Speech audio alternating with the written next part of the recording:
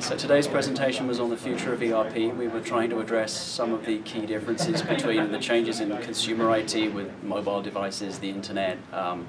notification features and functions, the things that you get every day in your, your consumer life that haven't really transitioned to the ERP applications yet. And what we were trying to do was present some alternatives between applications that are moving that way, that are able to deliver better ease of use, um, better accessibility, and better intelligence, and alternatively to deliver some point solutions and give people some thought where they're not planning on changing an application, to give them some idea of things that they can bolt onto their existing solution to try and make it easier to use, more accessible and more intelligent.